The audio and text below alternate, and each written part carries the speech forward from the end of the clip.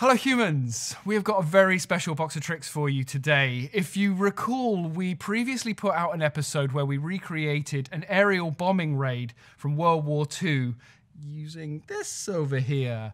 And today, the writer director of that short film, that that was the opening shot for, has brought in a 132 scale Lancaster bomber that he has lovingly put together. He's had airbrushed and motors and all this kind of joy. I need to stop talking about it. Said box of tricks is down there. So uh, JP and Martin are going to open it up and show us the wonders.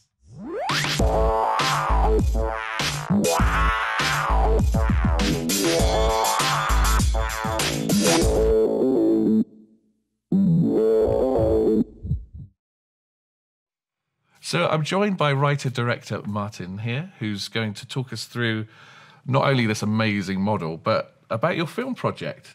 Yes. Um, so the short film is actually about uh, a child who's on a visit to a, a museum Yeah. that actually has a Lancaster based on a real museum up in Lincolnshire, Okay. um, where we have to shoot it.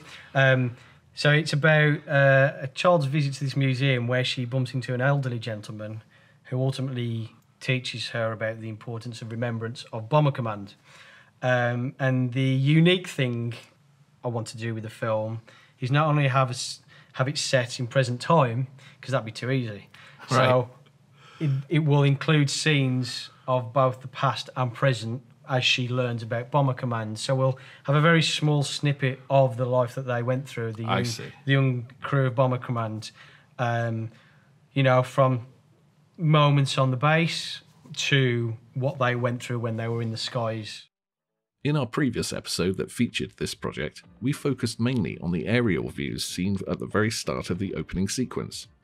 Later on in the film, we see the bombers in flight, and this is where the miniature of our Lancaster bomber comes in. We will ultimately be shooting this miniature with a motion control rig to give some dynamic moves to the aircraft as well as the camera. This off the shelf model kit isn't exactly cheap, but compared with a bespoke scratch built miniature, it's actually very cost effective.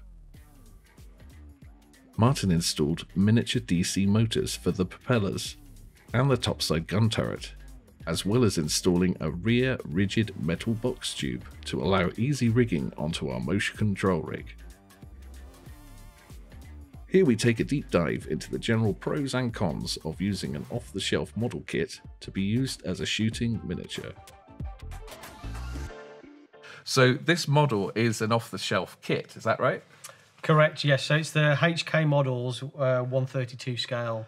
It's Lancaster big. bar. Yeah, it's the biggest one you can buy off the shelf. Right. Um, and I remember this came about because initially you got in touch with me because you saw me put a post up asking for a CG artist, yes. and you approached me and you went, "Would you consider doing this practically?" Which for me, as a huge fan of practical effects, I was like, "Oh, this can be done practically. Okay, I'm interested." And we talked quite a bit about how we'd achieve it, Yeah. and we we both agreed that If it can be done for real, let's try and do Affordably. it as close Yeah, well, yeah, affordably, was like, exactly. best thing to do is modify an off the shelf Yeah. model, and this Yeah. was the literally the largest one that is Yeah, available. it's the daddy, it's the beast. Yeah. It's incredible. So for this to fit the time period, the look, the the requirements for your vision, your script, did you have to do any alterations to this model kit uh, uh, as it came? A- A few actually, yeah. Um, so part of the script is um, an el- elderly gentleman now talking about the past, and I was very conscious that you know we're unfortunately we're already having a lot of veterans passing away. For an elderly gentleman to be able to be in the kind of his state of health, talking about that time. It would need to be near the end of the war Right. for it to actually make sense. Okay. So I already knew that I needed to have a later Mark Lancaster. Um, and equally, as part of the, you know, as the shooting process of the short film, fingers crossed, hopefully going to be shooting um, ground uh, static Lancaster scenes with a, a real one Full size. full size Great. um, at the Lincolnshire Aviation Heritage Centre, which they've got a ground operating Lancaster, which is incredible because there's only two flying I in was the gonna, world at the moment. I was going to say that it's it's always been the front of my mind where even you know big well-known Hollywood films that used period correct real aircraft, you know, there's only a handful left that are in. Yeah, there's two that fly, and from what I know, I might be wrong on this. Especially in the UK, there's only one other that runs, which is Right. um, Just Jane, at the, which is uh, yeah NX611 Just Jane. That's at the Lincolnshire Aviation Heritage Centre. So you can pay to have taxi runs and things like that. It's an incredible museum, and knowing I was going to hopefully film Yeah. with NX611 you know, she's a, a Mark 7 Lancaster that was built in 1945. Funny enough, at the Longbridge plant in Birmingham, so not far from where I'm from. Is- Okay. So yeah, there's a nice little nugget there. But um, so she's a you know 1945 Lancaster. I've got to be conscious about the age of the, the guy that's in the, the elderly gentleman in the film. But the off-the-shelf HK models was a Mark 1 Lancaster Right. Okay. which, funnily enough, handily comes with a few extra bits to make it a later one. It, you mentioned before, is it this Yeah. radar? So pod? this is the H2S. Well, the H2S radar lived underneath there, Okay. um, and this isn't actually in the instruction manual with the kit. No? but it actually just comes in the box. Oh, it's just the box. And when you see the shape of it, you're like, ah, okay, that I kind of need that to make it a later model, which was very handy. Right. Um, so details such as that, but something more complicated was. It actually, the Mark One actually had windows that ran up the fuselage, Right. Okay. and so what we had to do was painstakingly fill them in and sand them off, and hope that the paint job would cover up our. It does. I cannot. I cannot detect. I mean, by chance, it's actually added a bit more texture to the body that has actually helped us with the weathering process. yeah. Because I think the problem with models, if you're trying to make them look used, they can almost look a bit too perfect. yes. So us actually having to sand down parts, dull down some of the panels and some of the grooves, which essentially has allowed us when we did the weathering at the end, it allowed it to kind of add more texture to the fuselage. No, you've done a wonderful job, and, and you've done what's very tricky sometimes to do with models or miniatures for, for film work, which is where you not only can make it look great to the eye, but to the most importantly to the camera. So the weathering that you've done isn't too heavy, it isn't too light. You've got indications of dings and scratches and things that are scale appropriate, if that makes sense. So, mm. like you were saying before, where you were very conscious in doing the weathering and the paint job, you know, what may have caused that Yeah. distress or that or scorch mark or that scratch and what have you.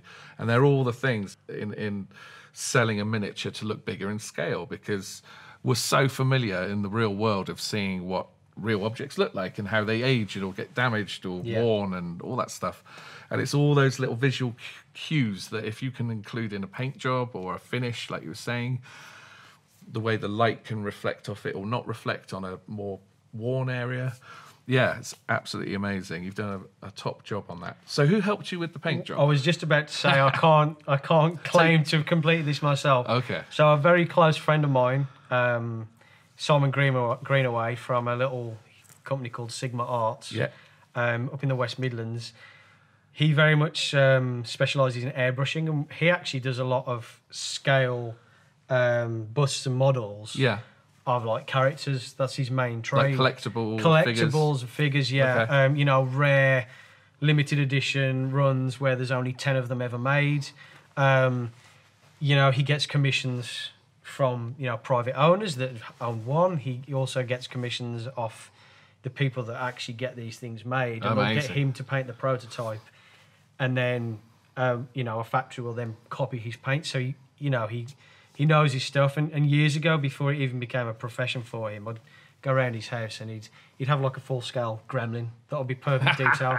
And he'd go to the extent of being getting the hair made to be put on Oh. the head for stripe you know there'd be moments you walk into his kitchen in his mom's house and you'd be like ah so when i was considering doing this i knew i would not be able to do this level of a, a finish on it. I knew I'd built Airfix uh, models and things as a kid. Yeah, My dad very much got me that into that as a young age. He he does he builds model railways in great detail. So I, I, growing up with you know those skills, I hadn't used them in years, but I was pretty confident I could put a, Sure. a large scale kit Yeah. together. And the handy thing is, being this scale, you're not working with tiny. I was it's gonna actually a bit say- easier to do it. I was going to say, does it make it easier? I guess Yeah. in some ways it does. It really does. I mean, the framework and all this, like, you know, being able to work on on on like the the detail inside the cockpit was actually a lot easier on a larger model. Yeah. Um, though the detail is greater. Um, but I got to a certain extent, kind of on my table at home, and then when it got to really kind of getting the main body of it together, you know, Simon was just like, "Yeah, come down to the workshop. Let's let's let's get it built." And so having his knowledge there for stuff like that, and then when it came, I went through so much stress with the right colours, and it's actually quite hard because when you think of camo, you think, "I'll get that," and we.